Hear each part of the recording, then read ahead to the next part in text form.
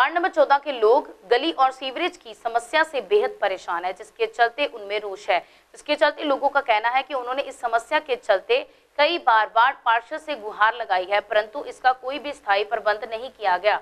इस संबंध में जब वार्ड पार्षद सलोनी से बात की गई तो उन्होंने कहा कि यहाँ का सारा काम मेरे पिता ही देखते हैं और जब पार्षद के पिता से पूछा गया तो क्या कहना है उनका, आइए सुनते हैं। समस्या है देखो साडे रोड टूटे ਰੋਡ ਟੁੱਟੇ ਦੇ ਇੱਕ ਪਾਣੀ ਦੀਆਂ ਪੈਪਾਂ ਅਸੀਂ ਐਮਸੀ ਨੂੰ ਉਹ ਐਮਐਲਏ ਵੀ ਇੱਥੇ ਆਇਆ ਸੀ ਅਸੀਂ ਉਹਨੂੰ ਕਿਹਾ ਸੀ ਵੀ ਸਾਨੂੰ ਪਾਣੀ ਦੀਆਂ ਪੈਪਾਂ ਅਲੱਗ ਪਾ ਕੇ ਦਿਓ। ਉਹਨਾਂ ਨੇ ਪਾਣੀ ਪਾਣੀ ਦੀਆਂ ਪੈਪਾਂ ਜਿਹੜੀਆਂ ਨੇ ਅਟੈਚ ਕੀਤੀ ਦੀਆਂ ਸਾਲਿਆਂ ਦੇ ਨਾਲ। ਉਹ ਗੰਦਾ ਪਾਣੀ ਆਂਦਾ ਸਾਡੇ ਸਾਰੇ ਇੱਥੇ। ਤੇ ਅਸੀਂ ਪਾਣੀ ਲੋਕਾਂ ਘਰੋਂ ਭਰਨੇ ਆ। ਤੇ ਲੋਕਾਂ ਘਰੋਂ ਪੀਂਦੇ ਆ। ਇਹ ਦੇਖੋ ਸੜਕ ਕਿੰਨੀ ਟੁੱਟੀ ਦੀ ਆ। ਸਾਰਾ ਰੋਡ ਇੱਧਰ ਨੂੰ ਗੰਦਾ ਪਾਣੀ। ਗੱਲਾਂ ਵੀ ਕਰਦੇ ਆ ਉਹ ਸਾਨੂੰ ਵੀ ਪਾਣੀ ਲੈਣ ਆ ਜਾਂਦੇ ਆ। ਤੇ ਜੇ ਅਸੀਂ ਇਹ ਪਾਣੀ ਪੀਏ ਤੇ ਮਤਲਬ ਸਾਡੇ ਪੇਟ 'ਚ ਦਰਦ ਹੋਣ ਲੱਗ ਪੈਂਦੀ ਬੜੀ। ਅਸੀਂ ਪਾਣੀ ਨਹੀਂ ਪੀ ਸਕਦੇ ਆ ਜਿਹੜਾ।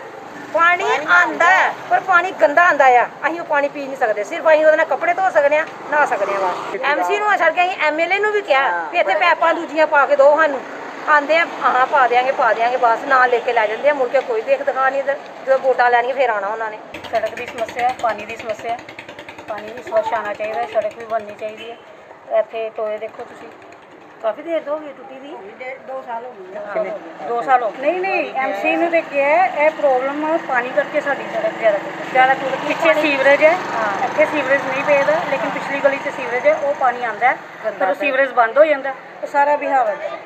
ਤੇ ਲੇਕਿਨ ਸੜਕ ਲਈ ਆਂਦੇ ਆ ਐਮਸੀ ਸਾਹਿਬ ਕਹਿ ਕੇ ਚਲ ਜਾਂਦੇ ਵੀ ਕਰਾਂਗੇ ਤੁਹਾਡੀ ਪ੍ਰੋਬਲਮ ਸੋਲਵ ਲੇਕਿਨ ਮੰਗ ਹੈ ਕਿ ਜਲਦੀ ਤੋਂ ਜਲਦੀ ਰੋਡ ਸਾਫ਼ ਕੀਤਾ ਜਾਏ ਟੋਏ ਭਰੇ ਜਾਣ ਬਣਾਈ ਜਾਏ। ਤੇ ਅਸੀਂ ਜਦੋਂ ਵੀ ਇਧਰੋਂ ਨਿਕਲਨੇ ਆ ਜਦੋਂ ਬਰਖਾ ਆਂਦੀ ਹੈ ਤੇ ਬੜੀ ਮੁਸ਼ਕਲ ਹੋ ਜਾਂਦੀ ਹੈ ਗੱਡੀਆਂ ਆਂਦੀਆਂ ਜਾਂਦੀਆਂ ਛਿੱਟੇ ਮਾਰ ਦਿੰਦੀਆਂ ਪੈਰਾਂ ਪੂਰਾਂ ਤੇ ਪੈਂਦੇ ਬਹੁਤ ਬੁਰਾ ਹਾਲ ਹੋ ਜਾਂਦਾ ਜੀ। ਕਿੰਨੇ ਸਾਲ ਤੋਂ ਰਹਿ ਗਏ ਤੁਸੀਂ ਇੱਥੇ? ਕਿੰਨੇ ਸਾਲ ਤੋਂ ਰਹਿ ਰਹੇ? ਅਸੀਂ ਬਚਪਨ ਤੋਂ ਇੱਥੇ ਰਹਿ ਰਹੇ ਮਤਲਬ ਕਿ ਜੰਮੇ ਦੋ ਵਾਰੀ ਕਿਹਾ ਪਰ ਕੋਈ ਸੁਣਵਾਈ ਨਹੀਂ ਲੈਂਦਾ ਜੀ। ਸੁਣਦਾ ਨਹੀਂ ਕੋਈ। ਐਮਸੀ ਸਾਹਿਬ ਨੇ ਕੋਈ ਹੱਲ ਨਹੀਂ ਕਰਾਇਆ? ਅਜੇ ਤੱਕ ਤਾਂ ਕੁਛ ਹੱਲ ਨਹੀਂ 5 ਸਾਲ ਹੋ ਗਏ। ਮੌਕੇ ਤੇ ਤੇ ਐਮਸੀ ਮੈਂ ਹੀ ਜੇ ਤੇ ਬਾਕੀ ਜੋ ਵੀ ਕੰਮ ਕਰਵਾਉਂਦੇ ਮੇਰੇ ਪਾਪਾ ਹੀ ਕਵਰ ਕਰਾਉਂਦੇ ਉਸ ਚੀਜ਼ ਨੂੰ। ਗੱਲ ਇਦਾਂ ਵਾ ਵੀ ਸਰ ਮੈਂ ਬੇਟੀ ਮੇਰੀ ਜਿਹੜੀ ਹੁਣ ਐਮਸੀ ਬਣੀ ਸੀ ਤੇ 5 ਸਾਲ ਦੇ ਵਿੱਚ ਤੁਹਾਨੂੰ ਪਤਾ ਵੀ ਕਮੇਟੀ ਰਹੀ ਹੈ ਬੀਜੇਪੀ ਦੀ। ਤੇ ਸਰਕਾਰ ਰਹੀ ਆ ਕਾਂਗਰਸ ਦੀ। ਉਹਦੇ ਵਿੱਚ ਕਮੇਟੀ ਸਾਨੂੰ ਕੰਮ ਨਹੀਂ ਕਰਨ ਦਿੰਦੀ। ਤਕਰੀਬਨ ਏਰੀਆ ਬਹੁਤ ਜ਼ਿਆਦਾ ਹੈ ਇਹ ਸਾਡੇ ਚ। 3800 ਤੇ 9 ਵੋਟ ਜਿਹੜੇ ਆ ਸਾਡੇ 14 ਨੰਬਰ ਵਾਰਡ ਦੇ ਆਉਂਦੇ ਹਨ। ਜਿਸ ਦੇ ਵਿੱਚ ਸਾਡੀ ਵਾਰਡ ਪੈਂਦੀ ਆ ਨਗਰ ਨਿਗਮ ਤੋਂ ਲੈ ਕੇ ਇਧਰ ਮਿਸ਼ਰ ਰੋਡ। ਮਿਸ਼ਰ ਰੋਡ ਤੋਂ ਅੱਗੇ ਆਂਦੀ ਆ ਕਬੀਰ ਨਗਰ। ਕਬੀਰ ਨਗਰ ਤੋਂ ਆਂਦੀ ਆ ਈਸਾ ਨਗਰ। ਈਸਾ ਨਗਰ ਤੋਂ ਸ਼ਾਹਪੁਰ ਚੌਂਕ। ਸ਼ਾਹਪੁਰ ਚੌਂਕ ਦਾ ਨਾਲ ਹੀ ਇਰਦ ਗਿਰਦ ਆ ਕੇ ਤੇ ਇੱਥੇ ਇੱਕ ਫਿਰ ਨਗਰ ਨਿਗਮ ਤੱਕ ਆਉਂਦੀ ਆ। ਜਿਹਦੇ ਵਿੱਚ ਕੰਮ ਆਪਾਂ ਬਹੁਤ ਜ਼ਿਆਦਾ ਹੱਦ ਤੋਂ ਜ਼ਿਆਦਾ ਕੰਮ ਜਿਹੜੇ ਉਹ ਕਰਾ ਚੁੱਕੇ ਆ। ਆਪਣੇ ਕਬੀਰ ਨਗਰ 'ਚ ਲਾ ਲਓ, ਉਸੇ ਆਪਾਂ ਸੜਕ ਬਣਾਈ ਹੈ ਗਲੀ ਬਣ- ਗਲੀਆਂ ਬਣਾਈਆਂ ਨੇ। ਉਹਦੇ ਵਿੱਚ ਸੀਵਰੇਜ ਵੀ ਨਵਾਂ ਪਵਾਇਆ। ਫਿਰ ਉਹ 'ਚ ਪਾਣੀ ਦੀ ਪੈਪ ਵੀ ਨਵੀਂ ਪਵਾਈ ਆ, ਈਸਾ ਨਗਰ ਵੀ ਨਵਾਂ ਬਣਾਇਆ।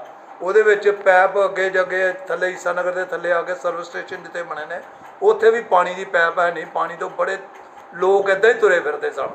ਤੇ ਉਹ ਵੀ ਪੈਪ ਪਵਾਈ ਹੋ ਗਈ।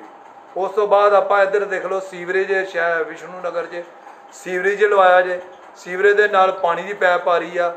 ਟੂਬਲ ਪਾਸ ਕਰਾਏ ਨੇ ਤਿੰਨ, ਜਿਸ ਦੇ ਵਿੱਚ ਇੱਕ ਲੱਗਣਾ ਵਿਸ਼ਨੂੰ ਨਗਰ ਲਵੀਣੀ 'ਚ ਇੱਕ ਹਿੱਸਾ ਨਗਰ 'ਚ ਲੱਗਣਾ ਤੇ ਇੱਕ ਲਵਾ ਚੁੱਕੇ ਆ ਅਸੀਂ ਜਿਹੜਾ ਪ੍ਰਾਇਮਰੀ ਸਕੂਲ ਕੋਲ ਜਿਹੜਾ ਲੱਗਣਾ। ਬਾਕੀ ਕੰਮ ਜਿਹੜਾ ਚੱਲ ਰਿਹਾ ਤੇ ਇਹਦੇ ਵਿੱਚ ਲੋਕ ਥੋੜਾ ਜਿਹਾ ਸਾਡੇ ਨਾਲ ਕੋਆਪਰੇਟ ਕਰਨ, ਜਿਹਦੇ ਵਿੱਚ ਅਸੀਂ ਚਾਹੁੰਦੇ ਵੀ ਸਾਡੇ ਨਾਲ ਕੋਆਪਰੇਟ ਹੋਏ ਤੇ ਕੰਮ ਜਿਹੜਾ ਜਲਦੀ ਤੋਂ ਜਲਦੀ ਉਹਨੂੰ ਸ਼ੁਰੂ ਕਰਾ ਸ਼ੁਰੂ ਕਰ ਸਕੀਏ।